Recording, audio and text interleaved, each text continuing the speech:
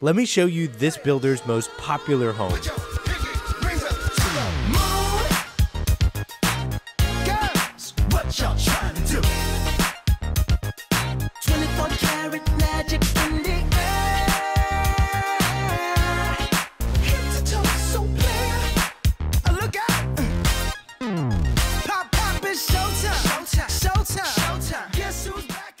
This video, I'm going to show you the most popular floor plan built by Taylor Morrison Homes. Now this is the Catalina floor plan. It's got over 5,200 square feet. If you do all the structural upgrades that Taylor Morrison is currently offering, we have five bedrooms, five and a half bathrooms, and this is an open concept two-story plan that has an incredible view off the back of the home. And this is good too. Right when you walk in through the front door, we're open to the second story. And we're also to see that in this main living area. So first off, you have sliding glass doors that you can just see right out to that back patio. We have this wide open kitchen on the left side with the breakfast nook in the back. But I love what I'm seeing here above these sliding glass doors. We have these large transom windows, and then up there is a second floor balcony. And again, if you love views off the back of a home, wait until you see that balcony. It is amazing. Now we're gonna start here in the kitchen and while we swing around to the kitchen, let me introduce myself. My name is Raj Sahoo and I've represented buyers as a realtor with 19 different builders. So I'll give you my perspective on this home and by the end of this video, I wanna hear from you on what you think about this home in the comments. What I think about this kitchen is there is a fantastic contrast here. You have this kitchen island that has this incredible countertop that is a waterfall countertop going all the way down. You have these great veins running through it and the dark exterior cabinets I think are pulling those veins out, providing that great contrast that I think so many buyers want in their kitchen. Now we have monogram appliances with this 8 burner gas stovetop. We have this very large vent hood and I like how they extended the countertop into the kitchen backsplash. What a great countertop. Let me know what you think about all these different upgrades in the kitchen. Now, while we circle back to the kitchen island where we have this apron stainless steel sink, what I notice when I look up is definitely that fireplace style. I like how it matches up with the countertop, but it's not exactly the same just has a similar theme, similar color pattern. And we're definitely to take a closer look at that main living room. Then we're going to head outside. And I can't wait for you to see that backyard. Now, while we're over here, let's take a look at the pantry, which I would say is a good size expected at this square footage. And I'll just take a walk through to give you an idea of what that size feels like. And then right next to this pantry, we do have the entrance to a three car garage so that would be the door to get into the garage, and that's exactly why they have this built-in mud bench. Now to the right of this mud bench, we do have a utility room, but I'm gonna circle back to that room because I wanna get over to the living room. And while we head over there, I did wanna tell you that this is a model home. So it's just for representation purposes to show how this Catalina floor plan is all laid out. So if you like the idea of building this home from scratch, I'm gonna show you some lots here in a minute that show the views that are possible here in this beautiful community called Travisso. But getting back into the plan, I love this tile work done around the fireplace going all the way up to the ceiling. I love this feature in a living room because when everybody comes into this living room, it's so difficult to not have your eyes go all the way up to the top of the ceiling following that fantastic design work. This is also great. That's why I had to take a seat. I think these sliding glass doors open up this space so much. If you are looking to build this plan from scratch, the sliding glass doors do come with quite the price tag. It does vary with each community, so I don't want to mention that publicly in this video because it can change over time as well, but I think it is so worth it. Now, this being a model home, of course they put sliding glass doors in this breakfast nook area as well. And this breakfast nook area is massive. It has an eight-seater table and this is what I like about Taylor Morrison. I think they do offer some good structural upgrades. So currently on their website, I'm seeing they have an expanded dining option, an expanded primary bedroom option, which we're going to see after this patio. We have this covered balcony above this patio that I can't wait for you to see. But let's stay here in the patio, and actually better than that, let me show you some of the lots that are here in Travisso. Now here's a lot that gives you an idea of the views that are possible here in Travisso. So the floor plan that you're watching can be built on so many different lots right here in this beautiful community. Back to the video. And that's why I love coming out to Travisso. It just has so many unique lots where you just never really know what you're gonna get when a new phase of lots opens up here. Now on this specific lot, we do have a view off the back left of the home. We are a corner lot, so the roadway is on the right side of this home, kind of goes along that right side. We have some great greenery and a great lot, and you'll see that when we get up to the second floor balcony. Now we're gonna head over to the primary bedroom and bathroom next, but I wanna give you one last look at this 10 seater dining table on this patio because I just want you to imagine taking a seat at this table and looking out to a view that looks out for miles. And that's what's possible here in Leander, Texas. And I should say there are so many different suburbs in the western, northwestern, and southwestern part of the Austin metro area that have these gorgeous hills where I have so many homebuyers who reach out to me that are looking to move to the Austin metro and get views off their backyard. So I'll detail some ideas that I have for you later on in the video. But before we get to that primary bedroom, I want to just quickly show you this utility room, which has a sink, a lot of built-in cabinets, and even a second refrigerator location. Now we're gonna head over to one of my favorite parts of this home, and that's gonna be the primary bedroom bathroom combination. Now I love what they did here from a design standpoint. They have these beams running across the ceiling, they have an accent wall behind the bed, they even have light fixtures that hang down over both nightstands. Now, on top of all this great design work, I love the two large windows on the back wall. I think it's one of the first things you notice when you walk in this primary bedroom. Your eyes just want to go right out through these windows, and I absolutely love it when builders do this. I think oftentimes we see these standard window sizes like your 3060, which just means 3 feet by six feet, but I'm starting to see the great builders incorporate these larger window sizes just to make it feel less cookie cutter where all the windows are exactly the same size everywhere across the home. And I like builders that are changing things up. They're also changing things up in this primary bathroom that opens up so well.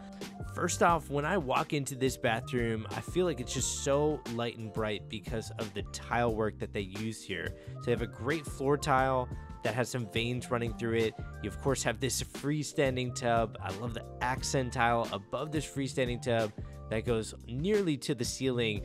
And then prior to this, we saw a dark cabinet color on the vanities, which we'll come back to, and that just provides that great contrast in this bathroom. Uh, same accent tiles on the floor here in this very large walk-in shower with the towel running all the way up to the ceiling and three different shower heads. You saw the rain shower head and two shower heads in here. It is such a big shower that they don't even need a door to get into this. And I know somebody's going to bring it up in the comments. I know that window is just wide open there right into the shower. Uh, rest assured, this is a model home, so that nobody's living here at this time. But there is a film that you can put on those windows to still allow natural light to come in, but to make it feel like a rain glass or like frosted so it gives you privacy while you're in this bathroom. Here's another look at that cabinetry I was telling you about. Provides that great contrast. I like how they did another accent wall here uh, behind both mirrors. I love these light fixtures that are hanging down from everywhere. Everywhere, but meaning in the pendant lights in the kitchen island were fantastic. The chandelier when we first walked in the home was great. And then we even have light fixtures hanging down above the nightstands in the primary bedroom you saw earlier, as well as here in the bathroom. While we go through this very large walk-in closet. It's quite the walk to get to the back of this closet. I did want to mention, in terms of light fixtures, there are so many options to explore aftermarket. What you want to get though is blocking for that light fixture because if it can't hold the weight of that uh, of a light fixture or a chandelier, obviously that's not going to help you if you're planning on doing that aftermarket.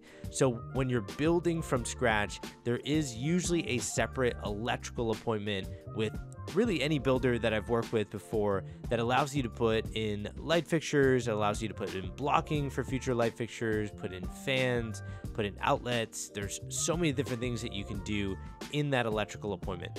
Now, I'll tell you something that I tell all of my clients I would not be afraid to go after market with your light fixtures. And that means after you close on the home with the builder, it's very simple to change those light fixtures out. And you tend to have a lot more options when you go after market with a third party provider. Now, moving on, we are going to head over to the powder bathroom, which is right off of this main living area. Love the upgrades that they chose here, where they did uh, another tile accent wall going all the way up to the ceiling in this powder bathroom. And then we are also going to see a second bedroom with a full bathroom in suite on the first floor. And I think this is what makes the Catalina plan stand out so much because so many home buyers during their home search process realize that this is an underrated part of the home, that second bedroom downstairs. And it's because there's an emotional element that comes with the second bedroom down. For a lot of homebuyers, they tell me they, they want a comfortable place for their parents to stay with them on the first floor where they have their own space, they have a you know a, a closet as well as an in-suite full bathroom that has a walk-in shower and they want this bedroom to feel large. And as you saw previously, it's a good size secondary bedroom downstairs and then here's your walk-in shower that has some great design upgrades like this light floor tile and then this dark thin tile going all the way up to the ceiling with that white grout outline and of course you're catching a little bit more of that view just in the window here in this full bathroom and then they even have a separate door to get outside to that backyard patio that we saw previously. Now, why would they have that here? If you don't have your parents staying with you, then I think this could easily be a pool bath where if you have a pool back there, it's nice to have an exterior door that goes right into a bathroom. And as you can tell, Taylor Morrison really thought this through, where, you know, a lot of buyers are planning ahead to have pools in their backyard. So I think that that is a fantastic upgrade to have that exterior door. What's also great is storage space. You saw some storage space underneath the stairwell, but I want to leave one of those storage spaces as a surprise. So there's like a doggy corridor area in there. You'll see what I mean here in about a minute. I want to go to the dining room. This is fantastic with the beams running across the ceiling. We have another accent wall and a 10 seater table. And I would steal all the design that you're seeing in this home because there's some great accent walls. I love some of the furniture pieces that they have in here. Even as we pan over to this butler's pantry, I like that tray that they have there with a couple wine bottles. It just looks elegant against that backsplash and these dark cabinets. Now, of course, we have a separate entrance into that kitchen, so you have quick access between the kitchen and the dining room, which is off the front of the home. And then also off the front of the home, we have a study, which we're to get to next. And then we're to head upstairs, and we still have so much to see in this beautiful home. Now, this study does resemble why Travisso became so popular. So, Travisso and this area of Leander, it's a little bit deeper into Leander. So, for some people that are looking at how close it is to downtown Austin, it's it was further out than most people wanted to go. But during the pandemic, when there was a lot of people working from home, looking for more space, looking for a study like this that have windows off the front wall, transom windows off the side, so much natural light coming in, so many people started to move out to this community. Now it got so wild during the pandemic, people were bidding 400,000 to $800,000 just on lots. Now they weren't bidding so high because of things like this, but this is still very cool. This is like a doggy room uh, closet and it's connected in with the closet that we saw earlier that goes underneath the stairwell. But I thought this was so cool for uh, Taylor Morrison to utilize this space and then stage it as if like a dog is using that as their bedroom. But getting back to what I was talking about with the bidding, the bidding made a lot of sense because you had a lot of people looking at the outskirts of the Austin metro area and also looking at forever homes like this. And on top of that, the supply of lots were very low. There would only be a few lots open each month. And then, of course, that led to bidding because there was such a difference between supply and demand. Now, while we go through this sitting room that's halfway up the steps, I'll just tell you some good news. The good news is, at the time I'm posting this video, there is no bidding, and there are plenty of lots that you can build a plan like this on those lots, pick all your options, and there are even some lots that have incredible views. Now, while we get up to the top of the steps, I wanted to talk a little bit about the community of Travisso in detail while we go through this bedroom that has a full bathroom And currently, this is one of the structural upgrades that you can do here. So they already have two bedrooms upstairs, uh, but this would be a fifth bedroom upgrade, and that's what gets us to five and a half bathrooms. Now, at the time I'm posting this video, around this model home is the new section that has plenty of lots. So you might have seen some uh, homes that were being constructed behind this home. Uh, there's a lot of uh, construction going on around this part of Travisso. They actually just put in a pocket park down the street, and I just had a client close uh, down the street from this model home, and they're already meeting a lot of homeowners that are moving in at the end of 2023. Now, what I like about this new section of Travisso is they're putting in a second amenity center very close by, pretty much walking distance from this home, as well as the other homes that are being built around here. And then when I say the back of the neighborhood, sometimes people say, well, how, how long does it take to get out of the neighborhood? It does take a little while. It takes like four to five minutes just to drive out of the neighborhood, but they will eventually connect in the back of the neighborhood to the main road to exit the Travisso community. So instead of going through the community to exit the community, you'll have a back entrance exit way, if that makes sense. Also, you already have an amenity center in the neighborhood that has a view from it, kind of like what you're seeing through these transom windows. And we will head out to that second floor balcony where you'll see that beautiful view of Travisso. And so there's so much going on in this neighborhood. And on top of everything that I said, they also have an elementary school that's going to be built at the front of the neighborhood. And that's the exact combination I'm always looking for in these various communities because that's what so many buyers tell me they want. They want great amenities, they want on site schools, and they want things to do around the area that they live in, which we'll get to a little bit later. And then they also want forever homes like this that have incredible views. And that's exactly what you're seeing in this huge game room look at the size of this game room. I can't remember what the name of this game is where you roll that disc across the table. I wanted to call it skee ball, but I know it's not that. Somebody comment below on what that game is. And then also comment below on what you think about this view off the back left of this home. I mean, there is a home there in the distance, but you're still catching those rolling hills that go for miles along this northwestern corridor of the Austin metro area. Okay, you've waited long enough. We have to head outside to this second floor balcony because this is the dream right here. I have so many buyers that reach out to me mostly through YouTube and they tell me that they just love the views that they see in these videos. And at this time, I have to tell you that first off, the size of this second floor balcony is amazing. You have a lot of room out here, a lot of furniture, but the views that you're seeing in front of you right now are being captured on my cell phone. I just have an iPhone.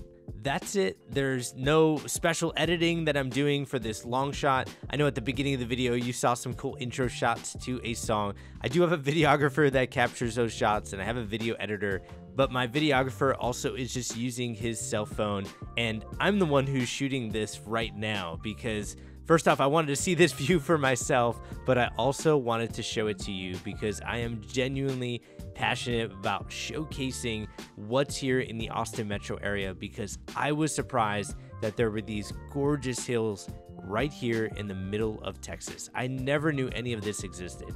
And as soon as I experienced this beauty that's out here and just love the cool vibe of Austin, I just found myself convincing all my friends and family to come out here and also look at the homes that you can buy in this area. It was incredible. And that's when I realized maybe I should just get into real estate because I keep finding I'm I keep finding myself talking to everybody about possibly moving here or considering it because of what I was seeing. And so that's when I took the leap and I started doing videos again, just using my cell phone, explaining what's out here. And I started to get very, very good at understanding who were the good builders, who were the bad builders, and who were the good options that were out there. And that's obviously been changing. Uh, month after month, as these builders continue to change and as new communities continue to come up here in the Austin Metro. Now we're going to move on here in the media room, but I did want to tell you that if you needed help with new construction or just newer homes that are out there, reach out to me. My number's at the bottom of the description of this video, and you might be able to land in a home like this that had that gigantic game room, that beautiful second floor balcony, and maybe even a media room that has a window that has that same view. And this is what I love because most media rooms have no windows in them, so you can have that full theater experience. But I think on a home like this, maybe fitting one window here on the side makes sense to capture that view. I also love this gigantic chessboard. It's a pretty cool design to have on the coffee table there in that media room hangout area. Okay, while we pass over this wet bar that's in the game room, we have a couple of bedrooms to get to. And while we go through this, I want to talk a little bit more about the suburb that we're in called Leander, talk about the growth and the developments that are happening. And I'll even tell you where people are calling me from to move here to Leander and what they're saying about Leander without knowing anything about it. There, a lot of people are hearing about the Austin metro area from friends, from family that have moved here. They're seeing a lot in the news. You know, Austin's definitely been up there in the national news when it comes to real estate. So let's talk about all of that. Starting off with growth. Growth is all about jobs, right? That's the the core of these cities growing is jobs come to an area. The biggest headline around jobs is definitely Apple building their second headquarters in the Austin metro area, but instead of instead of building it downtown, they actually built it 15 miles northwest of downtown. And now you're starting to see the bidding kind of make sense, not just for the beauty in this community, but you're getting major employers under construction on these huge uh, I wouldn't even call it buildings. They're actually calling it a full campus. It's like the Apple campus is what they're calling it. And it's because it's multiple buildings where they'll have the capacity in 2025 to become the largest private employer in all of Austin. A few miles away from that Apple campus, actually even further out of the city, is going to be two children's hospitals, one that just finished, another one that's going to be finishing sometime in 2024. And as a city, we're going to go from one children's hospital to three. And the two new ones are being built one mile apart from each other, about 18 miles northwest of downtown Austin. So, as a realtor, and I, I, know a lot of realtors, and they tend to hype up different areas for so many different reasons. This isn't hype. These companies are doing a lot of market research to understand where the growth pattern exists in Austin and where it will be for not just the next five years, but these are 10, 20, 30 year bets on these different parts of Austin. And so, when they plant their flag with a huge hospital or a massive Apple campus, I think that says a lot about an area. Now, what follows jobs typically are businesses. Businesses want to be around the new growth, the new wealth that's moving to an area. And that's evident here in Leander with a project called Leander Northline and a, another project called Leander Springs. These are large mixed use development spaces that will have retail, office, hotel space, apartments, townhomes, basically an area that you can park your car and get that urban feel so you don't always have to go downtown to get that urban feel. And that's what I find so many buyers that are looking around at the North Austin area end up landing in Leander because of the growth, the development, and the beauty that's here. Now, if you wanted to explore Austin together, feel free to reach out to me. I'd be happy to help. My number's at the bottom of the description of this video. And then if you want to see another popular floor plan with Taylor Morrison, go ahead and click on the thumbnail on your screen. That is the Larimar plan that has an incredible second floor balcony that also has an amazing view. As always, hope this helps. Take care, everyone.